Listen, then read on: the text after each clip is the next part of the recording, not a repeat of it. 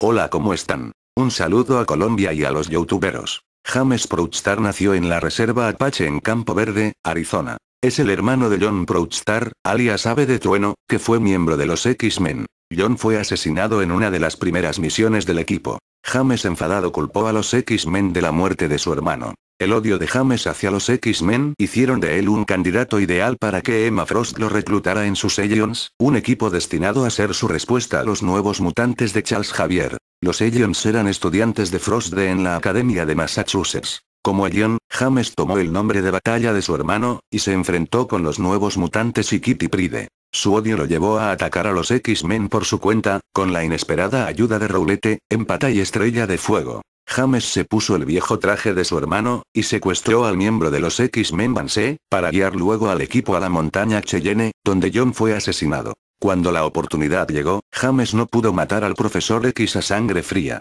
James se reconcilió con los X-Men, y el profesor X le ofreció una membresía en los nuevos mutantes, pero él declinó. Meses más tarde, James se dio cuenta de que la Academia de Massachusetts no era el lugar para él. Por lo tanto, regresó a casa con su familia. James disfrutó de una estancia en casa tanto tiempo, que originalmente rechazó la oferta de Cable para unirse a los nuevos mutantes. Después de su reunión con Cable en Nueva York, James regresó a su casa, para encontrar a su tribu entera asesinada.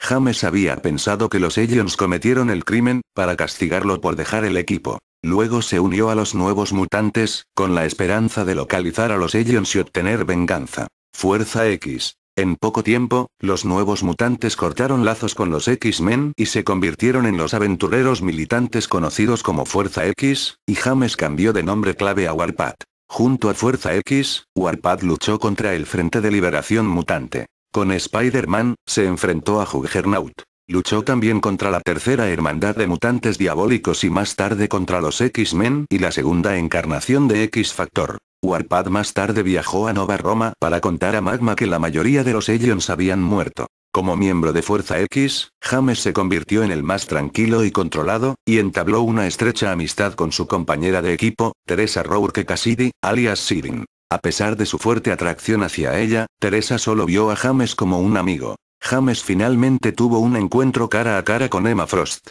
Los dos hablaron sobre las muertes de miembros de su tribu, pero Emma juró que no estaba involucrada. Warpath finalmente conoció a una mujer, con el nombre de Riske. Riske fue instrumental en ayudar a James con su confianza y los dos comenzaron una relación amorosa. Riske estaba siendo chantajeada por un hombre llamado Sledge, que la obligó a llevar a Warpath a su guarida. Sledge le dio información sobre un miembro de la tribu que todavía estaba vivo, pero a su vez, James tuvo que recuperar a su compañero, Vanisher, que había desaparecido en otra dimensión. James encontró a la Vaniser y a su vez, Sledge dio información sobre el miembro de la tribu, Michael Whitecloud, a quien James creía muerto. Whitecloud le dijo que Strife, el adversario de Fuerza X, estaba detrás del asesinato de su tribu. James fue al infierno para vengarse, pero fue devuelto al mundo de los vivos por Blackhearts.